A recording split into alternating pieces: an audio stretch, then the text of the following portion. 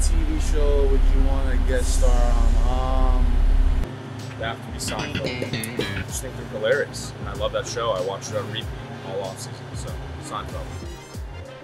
Ooh. I like Hawaii Five O. it's a tough one. Sopranos. Uh, I think I'd make a good extra in like a deli shop or something. Yeah, that, that's an easy question for me. The Office. Dwight, of course. So help me, Todd. My boy Skyler. Rocket Power. Uh, I think you should leave by Tim Robinson. Absolutely love the show. I'm from Detroit. He's from Detroit. Big fan of his. Peaky Blinders. Because they wear sick suits in that show. I would want to be on Ridiculousness. It's not really a guest star, uh, but I'd like to play The Price is Right. I've watched it since like four years old.